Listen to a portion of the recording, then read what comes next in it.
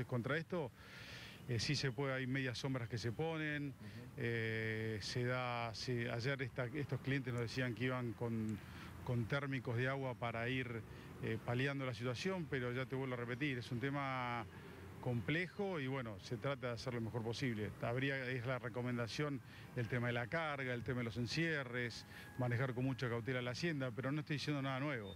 Entonces creo que la realidad es que tendría que ser todo un aire acondicionado para todo el país y es imposible.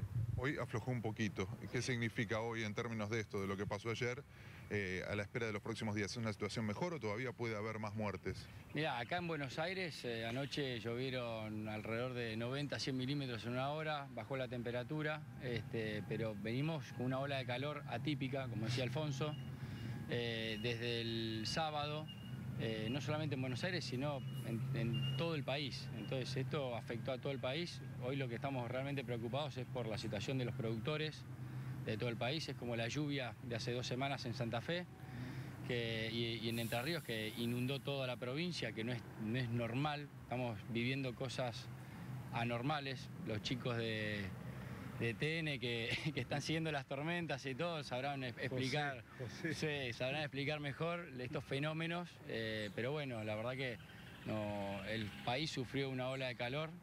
Eh, en Santiago del Estero se registraron temperaturas de, casi 60 grados de sensación térmica eh, en horas más fuertes y no es normal. Y bueno, la hacienda la verdad que lo sufre, nosotros lo sufrimos, los humanos, como las recomendaciones que damos los días de calor, las alertas naranjas, nos afectó a todos, lamentablemente, y bueno, este, estamos eh, haciendo todo lo posible para que eh, Martín. el efecto sea el menor, ¿no? Hay mucha gente preguntándose qué pasa con esos animales que han muerto en el campo y aquí en el mercado. ¿Tiene algún tipo de, utilidad o, eso es todo pérdida? Lo que cayó acá, en el, digamos, lo que murió acá en el mercado, después de acá el mercado salió la hacienda hacia los frigoríficos. Y los frigoríficos también están teniendo problemas dentro de los frigoríficos.